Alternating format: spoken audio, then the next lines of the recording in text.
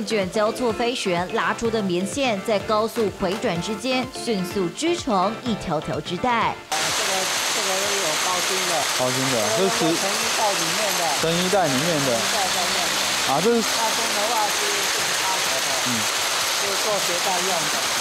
从做法圈加工起家，一路扩展到鞋带、童军绳、衣裤绳带、识别证带等等，用这平凡不起眼的绳线打出黄金结。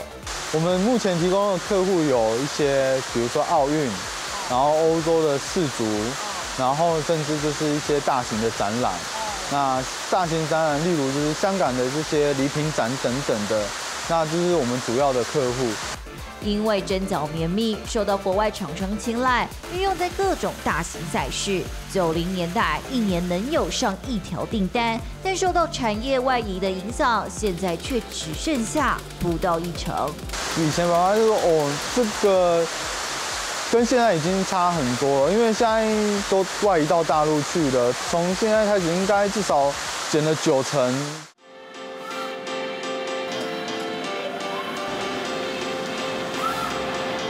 校正好位置，将物品放在对应的地方，按下开关，UV 印刷机台开始来回移动。没用多久时间，就能印出色彩鲜明、线条清晰的图样。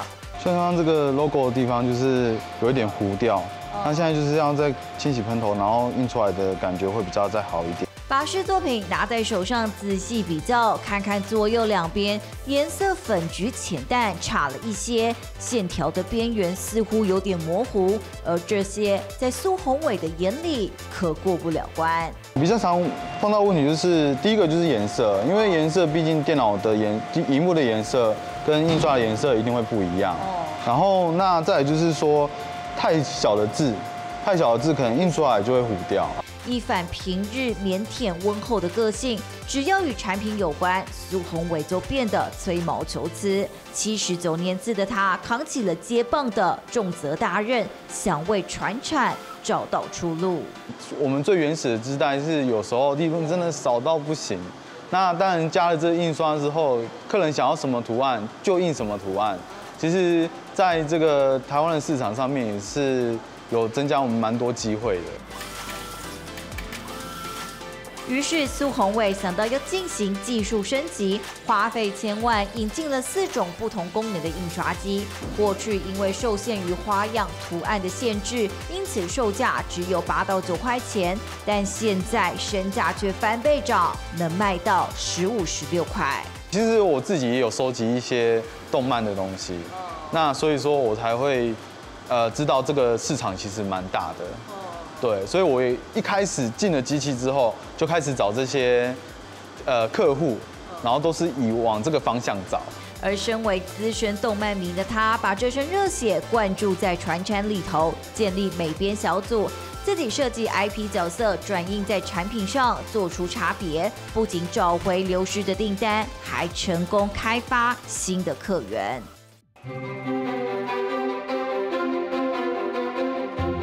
其实这个基基本上就是直接送口罩厂，然后它就是一片一片这样做出来。利用热的转印，将印好的图样覆盖在布的上头，从彩色口罩到刻制挂带，无所不应。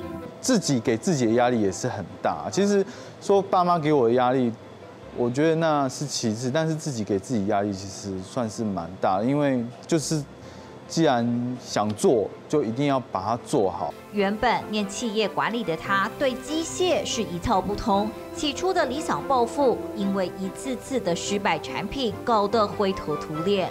但苏宏伟可没放弃，这股执拗让他织出彩色未来。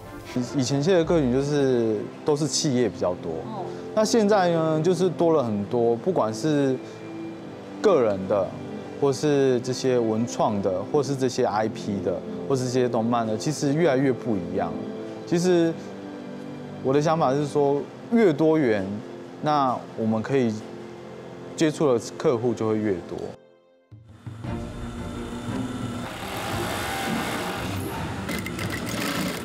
在布袋上细细的缝上口袋进行加工，苏宏伟利用多元化的产品成功敲开市场，让营收提升三到四成，打响转型的第一招。算一个转型，一个转型，因为在我们过去都是印刷都是委外，哎，委外，然后接下来的动作就是他从我们织带或者是所有的印刷类，它都可以开发出来。那这个步骤我们就觉得是我了，觉得蛮意外的。其实台湾创业很困难。嗯，订单也没有像以前我们那么多，因为以前外销很多单的，那他就有信心嘛，说做一些跟人家不一样的，哦，好，就就下去做啊，慢慢哎，他的他也很努力的去学习，然后也很努力的去做，啊，到现在呢，做的都已经有一定的规模了。然后照片在正中间，然后斜斜的，我就把它固定在。中间，然后用这个桌上的这个防烫的胶带把它固定住。先是准备好喜欢的照片，再放上可爱装饰，利用热压机打造每个人专属的特色包款。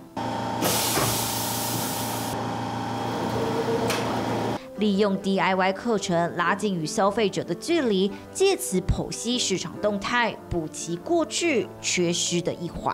他负责生产技术面的，那我就负责对外跟客人沟通接洽，跟消费者直接面对面。其实他会找我回来，也是因为这样，我就是一直我就是消费者。